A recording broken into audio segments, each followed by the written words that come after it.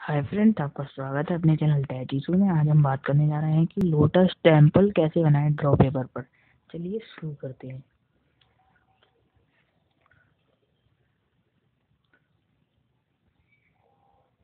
पहले हम ऐसे रेखा खींच लेते हैं।